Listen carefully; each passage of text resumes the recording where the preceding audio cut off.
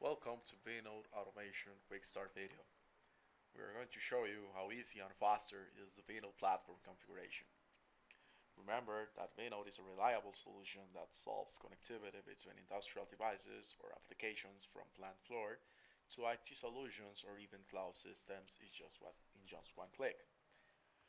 Once we install vNode software in our computer or device, it can be configured through a web interface using a web browser from your chosen, you can hit the URL from vNode Automation Software.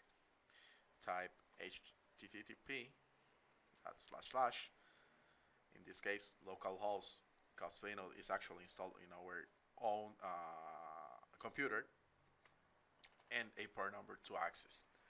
This port number, uh, it can be configured through a user interface of vNode Automation platform. Hit enter and you will be prompted to a login window.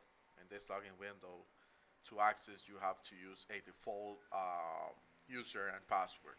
In this case, the user will be admin and the password will be vnode in case sensitive. Hit enter and you will be prompted to a configuration panel actually.